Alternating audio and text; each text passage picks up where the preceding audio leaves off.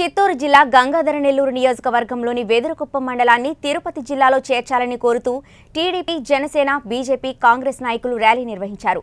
అనంతరం ర్యాలీగా మండల రెవెన్యూ కార్యాలయం వరకు చేరుకుని రెవెన్యూ ఇన్స్పెక్టర్కు వినతి పత్రం సమర్పించారు.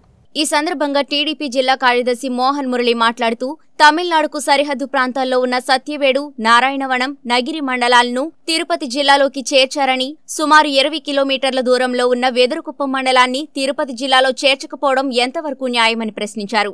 ప్రజల మనోభావాలను దెబ్బతీయకుండా పరిగణలోకి తీసుకుని వెదురుకుప్పం మండలం తిరుపతి వెంకటేశ్వర స్వామి పాదాల చెంత చేర్చాలని కోరుకుంటున్నామన్నారు. అలా కాని పరిస్థితుల్లో నిరసనలు తీవ్రతరం చేస్తామని హెచ్చరించారు. ఈ కార్యక్రమంలో బీజేపీ అధ్యక్షులు తిరుమలచారి బీజేపీ మండల మాజీ అధ్యక్షులు హనుమంత్ రెడ్డి జనసేన మండల ఇన్ఛార్జ్ వెంకటేష్ కాంగ్రెస్ మండల ఇన్ఛార్జ్ ఉమేష్ మాజీ ఎంపీటీసీ చంద్రబాబు రెడ్డి ఏఎంసీ మాజీ డైరెక్టర్ బిఎం రవి పలువురు నాయకులు పార్టీ అభిమానులు పాల్గొన్నారు.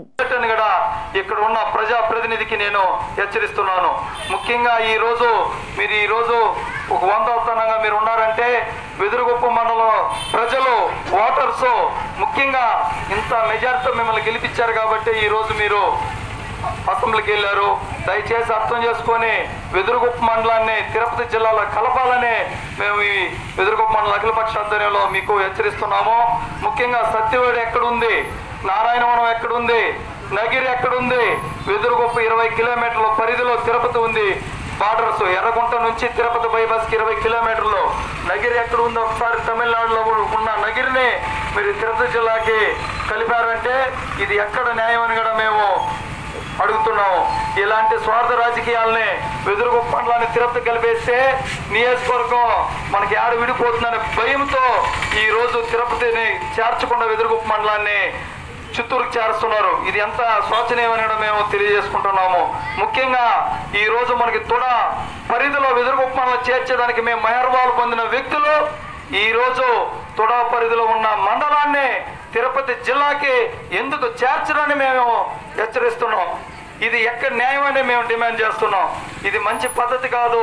ప్రజల ప్రజలతో ఆడుకుంటే ఎప్పుడు కానీ జీవితంలో ఎవరు బాగుపడిన లెక్క లేవు. దయచేసి కనుక్కోండి. ప్రజా మనోభావాలని దెబ్బ తీయద్దండి. ప్రజల మనోభావాలని పరిగణలోకి తీసుకొని ఈరోజు మీరు ఖచ్చితంగా వెదురుగుప్ప మండలాన్ని తిరుపతి జిల్లాలో ఏడుకొండలవాడ వెంకటేశ్వర స్వామి పాదాల చెంత వెదురుగుప్ప మండలాన్ని చేస్తారని కూడా మేము ఆశిస్తున్నాం. మీరు కానీ దీనికైనా పూనుకోకపోతే పరిణామాలు చాలా ఘోరంగా ఉంటుందని కూడా మేము తెలియజేసుకుంటూ ఈ అవకాశం ఇచ్చిన అఖిలపక్ష నాయకులకి మరొకసారి పేరు పేరున ధన్యవాదాలు తెలియజేసుకుంటూ ఈరోజు ఇక్కడ నుంచి మేము అందరూ తహసీల్దార్ గారికి ఇచ్చి అదేవిధంగా ఆ వినతి పత్రాన్ని రాష్ట్ర ముఖ్యమంత్రి గౌరవనీయులు వైఎస్ జగన్మోహన్ రెడ్డి గారికి తెలియజేసేంత వరకే ఇవన్నీ మెసేజ్